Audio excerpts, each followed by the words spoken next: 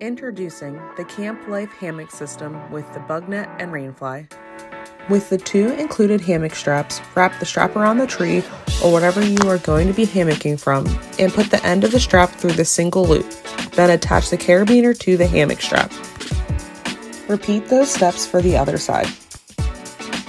To use the bug net and Rainfly, you will want to create a ridge line using a slip knot. Wrap cordage around the tree, then use your working end to do a cross and turn over to the ridgeline side. With the tailed end, go around the bottom and form a bite and put it through the loop and pull it tight.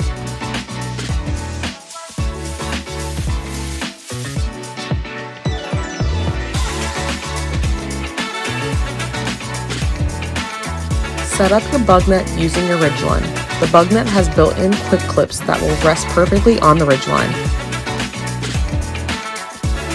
Set up your rainfly over your ridgeline. The rainfly will keep the wet weather out. Don't forget to use your stakes to anchor the rainfly down.